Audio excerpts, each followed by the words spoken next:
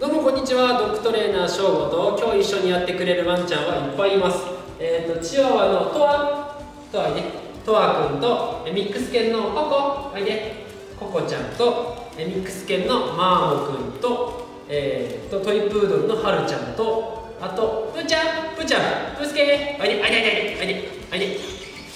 はい、えー、本当は画面に映ってないんですけどあ来た来た来た来た。プーちゃんプー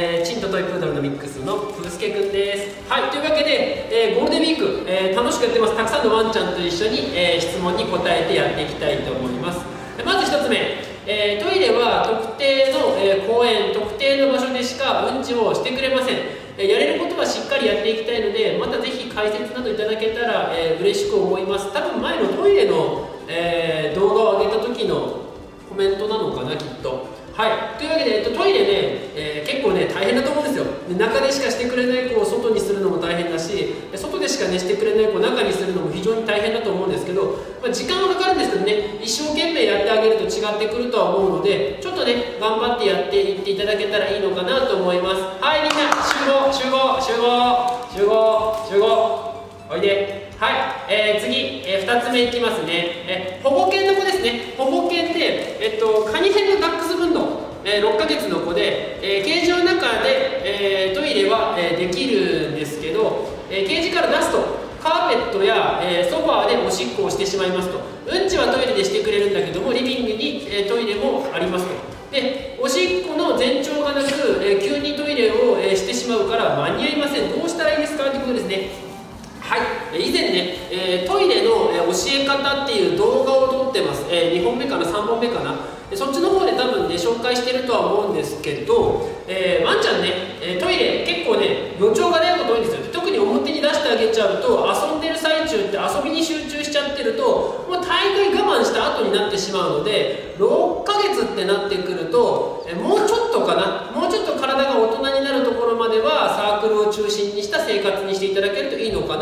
とごめんなさいね文章だけ読んじゃうからちょっと違ったら申し訳ないんですけど、まあ、お家の中ね、あのー、まあ、例えばサークルの中にもトイレがあってリビングにトイレがあってあっちにもトイレがあってトイレがいくつもあるとどれを使ったらいいか迷ってしまう可能性もあります、ね、なのでその辺だけねしっかり教えてやっていけるようにすると違ってくるのかなと思うのでワンちゃんが迷わないようにだけねやってもらえるといいのかなと思います。詳しくはトイレのやつよかったら見てみてください。はい、えー、3つ目ですね、えー、ポメラニアン、えー、5ヶ月の子ですね、えー、最近急にご飯を食べなくなった、えー、おやつを食べる元気はありますえご飯の匂いを嗅いでもピッてしてしまって最終的には、えー、寝るか遊んでしまうと。どうしたら改善できますかっていうことですね。これね、えー、ご飯を食べてくれないんだけどもおやつは食べますって結構あるんですよ。でそこで、ね、あのおやつをね例えばあげないで、えー、くださいって言っても食べてるものがそれしかないからおやつをねあげないっていうのは非常に、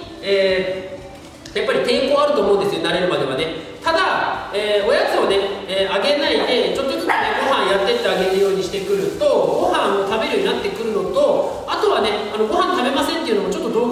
みたんですけどまあ体型見てもらうのももちろん大事なのとあとはね、えー、温めてあげたりとか、えちょこっとねまあ最初だけトッピングしてあげてもいいのかなと思うんですけどゆくゆくねトッピングは外していかなきゃいけなくなるので本当はできればねお湯をちょっと入れてあげたり温めてあげたりすると違ってくるのかなと思います。はい。集合集合集合集合集合。みんな最後だよ。最後で集合集合。はいおいで。座って。